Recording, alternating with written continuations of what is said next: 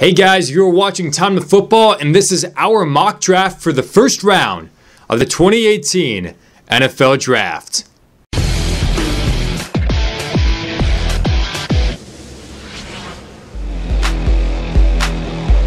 We're getting ready for the next big event that's coming up on the NFL schedule later this month. Hello, everyone. My name is Hassan Khan, and thank you so much for watching Time to Football. I should say, watching and listening to Time with Football because with this video, we're bringing podcasts back. You can go to iTunes or on the podcast app, search for Time with Football, and this podcast is available on that app. So you can listen to it uh, on the car ride to work, at the gym, whatever it may be. A longer version of this video is going to be available on the podcast app. Search for that and it will be awesome. So, what we're doing for you guys is we're going to give a mock draft of the first round of the 2018 NFL Draft.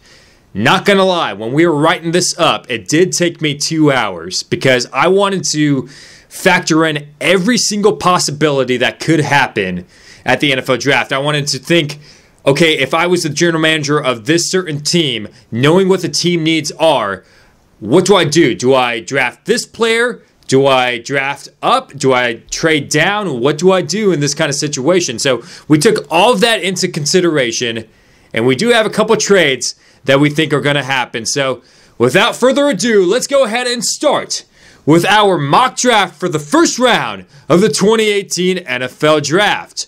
First up, number one, the Cleveland Browns are going to draft quarterback Sam Darnold out of USC. Look, there's a 10% chance that the Browns don't draft Sam Darnold.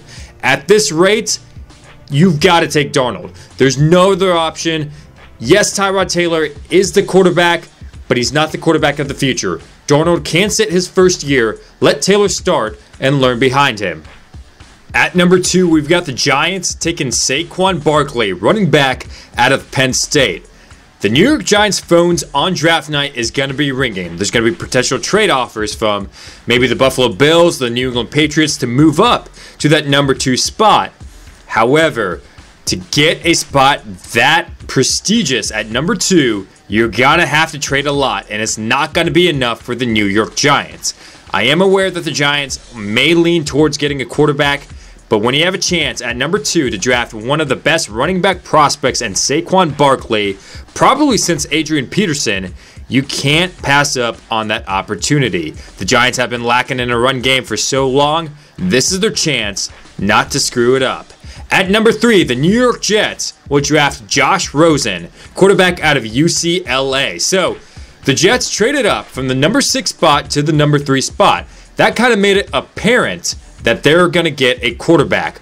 Rosen is the next available or the best available quarterback right after Sam Darnold. So they're going to make him the quarterback of the future. And Rosen is a guy that can go in there and start all 16 games in Gotham City. At number four, the Browns' second first round pick, Bradley Chubb, defensive end out of NC State. So imagine pairing this guy with Myles Garrett.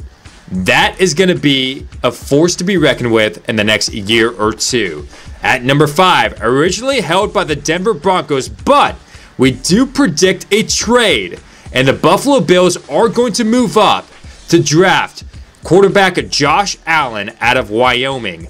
I am aware that Buffalo did sign AJ McCarron in this offseason, but he is still an unknown. McCarron hasn't played enough games to prove himself as an elite quarterback, with a quarterback class like this, Josh Allen, with probably the strongest arm in this draft, you can't pass up on that opportunity if you're Buffalo.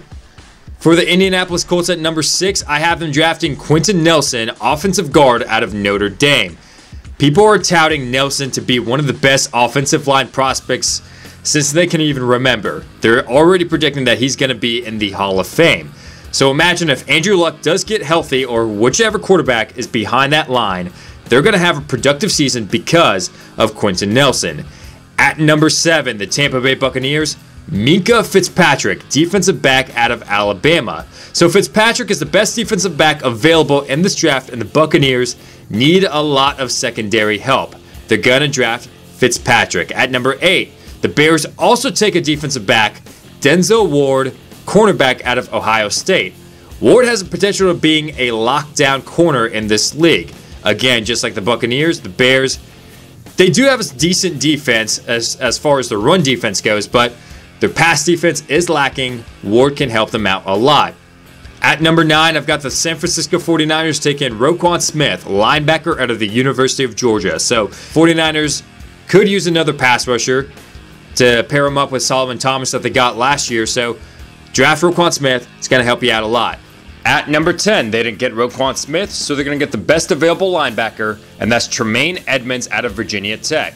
The Raiders need a lot of help defensively, and they're going to start with their front seven in the linebacking core, and Tremaine Edmunds is the best available linebacker after Roquan Smith. At number 11, the Miami Dolphins, I have them drafting Vita Vea, defensive tackle out of Washington. So, a lot of people are saying that Adam Gase wants to draft a quarterback. Baker Mayfield is one of those guys that has come up as potential draft picks, but Adam Gase has said earlier in March that he trusts Ryan Tannehill, that Ryan Tannehill is looking good coming off his injury.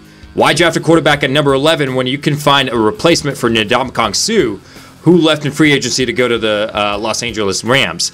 At number 12, so like we said, this was originally held by the Buffalo Bills, but the Denver Broncos are going to take the spot, and they're going to draft offensive tackle Mike McGlinchey out of Notre Dame. Why draft a quarterback when you already got Case Keenum for the next couple of years, signed him to a two year contract? John Elway loves Keenum. They're going to build around him, and the offensive line is the way to start. At number 13, the Washington Redskins draft Derwin James, safety out of Florida State. They will love to get someone like Vita Vea if they drop down to him, but we predict that the Dolphins are going to get him, so the Redskins draft the next available player, and they also need some secondary help, and they get Derwin James.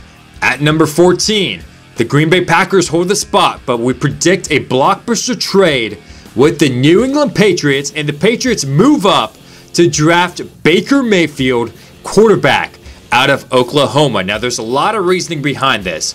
Number one, the Green Bay Packers are one of those teams that are willing to trade down, and it wouldn't hurt them, such, such as the Denver Broncos. Because you think about it, the Packers, if Aaron Rodgers hadn't gotten hurt, they would have made the playoffs and they're one of those teams that don't have too many holes to fill, and they get two first round picks, so it's a win win situation for them. For the New England Patriots, they have two first round picks to offer with that trade with Brandin Cooks. They need a quarterback for the future. Belichick loves Mayfield. They're going to draft him at number 14. Number 15, the Arizona Cardinals draft Lamar Jackson, quarterback out of Louisville. So last year, we predicted that the Cardinals would draft Deshaun Watson. The Texans traded up past them and ruined their hopes. The Cardinals, obviously, they regret that decision. They should have offered something to trade up. Didn't get Deshaun Watson. They don't want that opportunity to pass up. They want Mayfield, but the Patriots are going to trade over them. So the next available quarterback is Lamar Jackson. The Cardinals are going to draft him possible to sit behind Sam Bradford until he gets hurt, not if, but when, so Lamar Jackson can come in and play good football. At number 16, the Baltimore Ravens select Calvin Ridley, wide receiver out of Alabama. The best wide receiver in this draft, the Ravens do need some help at the receiving core after letting go Jeremy Maclin and Mike Wallace to free agency. 17, we've got the Los Angeles Chargers selecting Da'Ron Payne, defensive tackle out of Alabama. The main reason for this, the Chargers need some help with the rush defense. They were second to last when it came to the rush defense last year in the NFL. Da'Ron Payne is going to help them out mightily. At 18, the Seahawks select Isaiah Wynn, offensive guard out of Georgia. So the Seahawks could draft a defensive back, could draft uh, maybe a defensive lineman after letting go of Michael Bennett. But Russell Wilson last year, he was pretty much that whole entire team. They almost made the playoffs when really you think about it, the way that their season went, if it weren't for Russell Wilson, this team would have had a worse record last year.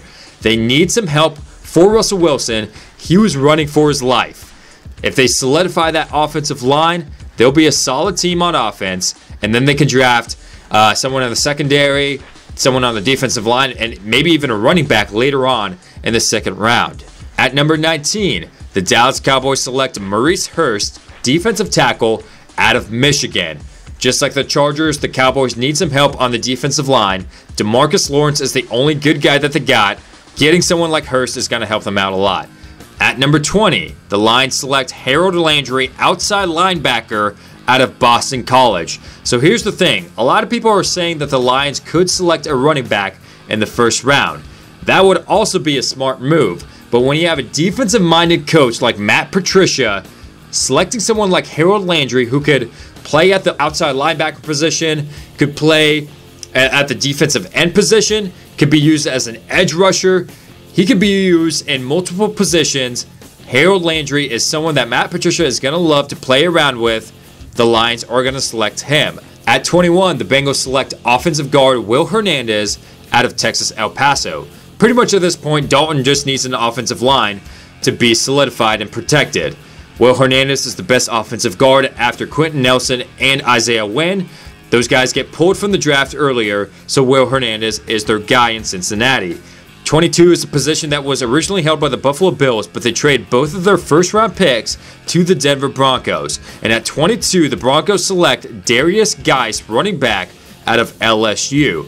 When you had Devontae Booker or Jamaal Charles, both of them sort of failed to live up to expectations. Guice can be the guy that can come in, compete with Devontae Booker. 23 was originally held by the New England Patriots, but like we mentioned before, the Packers get this draft pick and they selected Josh Jackson, cornerback out of Iowa. So this is pretty much a steal for the Packers. Imagine this the Packers have two first round picks. They need to get secondary help. They were originally going to draft uh, Josh Jackson at number 14 because after Denzel Ward, he's the best defensive back available. But if they trade down to 23 and still get Josh Jackson, they are winning this NFL draft. Number 24, the Panthers select Mike Hughes, cornerback out of Central Florida. You could say that the Panthers could use some receiver help. When they use Christian McCaffrey in the slot, or they use him as a receiving running back on third downs, they could really go ahead and pass up on a receiver in the first round and get someone in the second round. They do need some secondary help, and that's where Mike Hughes comes in. After everything with Bashaud Breeland fell through, with him failing his physical and not being able to be signed, Mike Hughes can be a fill in for Breeland. At 25, the Titans select Marcus Davenport, defensive end out of Texas San Antonio. Pretty much at this point, it's the Titans grabbing the next best available player, and Davenport is one of those guys that can get drafted in the middle of the first round. He drops down, Titans select him. Number 26, we've got the Falcons selecting Taven Bryan, defensive tackle out of Florida. This is pretty much a no brainer at this point because Taven Bryan is the best defensive tackle on the draft board that is left for the Falcons to draft. With Adrian Clayborn and Dontari Poe leaving in free agency, this will be a good fill in for that defensive line. Number 27, the Saints select Leighton Vander Esch, linebacker out of Boise State. They need some help in that interior. They need some help uh, with the front seven. And Vander Esch is going to be the guy that they go to because he's the best linebacker available this late in the draft. Number 28, the Steelers select Rashaan Evans, linebacker out of Alabama. So Think of it as if the Saints don't get Vander Esch, then the Steelers are going to get him. But Rashaan Evans is going to be the next linebacker that is available, the best one that is available after Vander Esch. And with the injury to Ryan Shazier, we don't know the future on his NFL career. Steelers have to go ahead and fill in that position and get Rashaan Evans. At 29, the Jaguars are going to stretch for this one, and they're going to draft Mason Rudolph, quarterback out of Oklahoma State. So the Jaguars need a lot of help at receiver because they let Allen Robinson and Allen Hurns go. They need some help at linebacker because Paul Posluszny retired from the NFL. But the Jaguars can make up for those in the second and third rounds. For now, they can draft a quarterback for the future because Blake Bortles, at this point, he's an unknown. They don't know if they're going to keep him around. Mason Rudolph, go ahead and predict for the future or go ahead and plan for the future. Uh, even though it is a stretch, if you go into the second round, he may not be available late in the second round. Jaguars get him for quarterback for the future. At 30, the Minnesota Vikings select Kolton Miller, offensive tackle out of UCLA. So at this point, the Vikings don't have a lot of holes to fill. They filled their holes in free agency. They got their quarterback in Kirk Cousins. Now they need to build around him. They need to protect him, and Kolton Miller can be that guy. At 31, the Patriots originally held this pick, but they traded away to the Green Bay Packers, and the Packers select wide receiver Courtland Sutton out of SMU. So think of this scenario. The Packers already have two first round picks, they got their secondary help. They could use some receiver help after letting go of Jordy Nelson and Jeff Janis in the offseason. Now they get a big receiver, a 6'4 receiver that they can line up on the outside that can be a red zone target that can beat the secondary, use his size to his advantage. They already have a speedy receiver in Randall Cobb. They have shifty receivers in uh, Davante Adams as well. Imagine having a big wide receiver for Aaron Rodgers to throw to. That could be Courtland Sutton for the Green Bay Packers. And at 32, the Super Bowl champion Philadelphia Eagles select Jaire Alexander, cornerback out of Louisville. So I was also thinking that maybe the Eagles draft another tight end because they let go of Trey Burton in the offseason. He signed with Chicago. I think that the Eagles need more secondary help because you can never get enough secondary help in that kind of position. So after letting go of Patrick Robinson to New Orleans, they could have a solid replacement and Jaire Alexander to be their slot cornerback.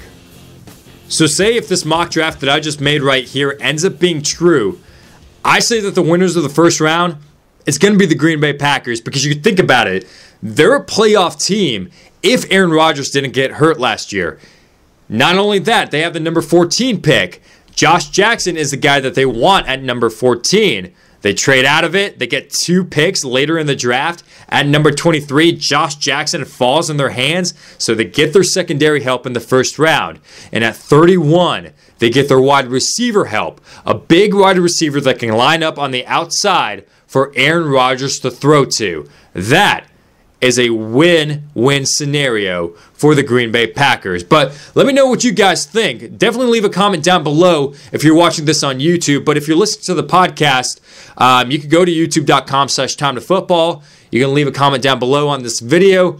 Or you can even hit us up on social media Facebook, Instagram, Twitter. All the direct links to those social media sites is included in the description of this video on YouTube. But on all social media sites, the username, Time to Football. Just search for Time to Football, you'll find us. Thank you guys so much for uh, watching this video. Let me know what your thoughts are. Subscribe to this channel, and I'll talk to you guys later.